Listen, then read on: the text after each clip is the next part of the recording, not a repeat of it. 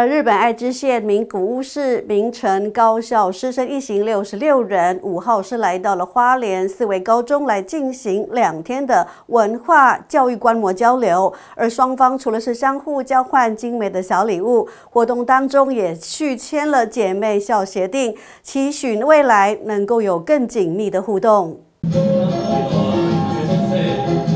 日本爱知县名古屋市名城高校师生一行六十六人，五号来到花莲市维高中进行两天的文化教育观摩交流。学校除了安排不同的学生体验，双方学生也互相带来精彩表演，更以一对一的方式进行交换礼物。就因为我会说日文啊。他们就觉得很酷，为什么会说日文？他给我的是饮料提袋，然后我给他的是护手霜。觉得学校有这样的机会怎么样？还不错，就可以练习日文口语。活动中，花莲市长韦家燕也以校友的身份出席，见证两校完成续签姐妹校的协定，期许未来双边能有更紧密的互动。我们发现，孩子透过这样的一个国际交流，四维的孩子。得到哈成长的机会是呃非常的好，那所以呢，我们就正式缔结姐妹校，就从二零一九年一百零八年开始到现在，那今天呃明城高校来的学生比以前还要更多，也非常肯定四维高中也有相对的提供日本。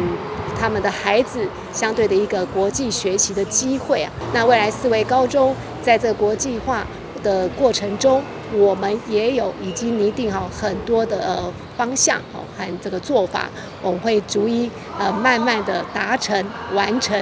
花莲虽属是我们东部地区，但是我们有很好的一个教育体制，以及我们所有的孩子都有国际观。那更要谢谢我们四维高中的董事长黄董事长以及蔡校长，他们都非常有远见，让孩子们早一点拓展视野。那今天非常的开心，能够与我们弥补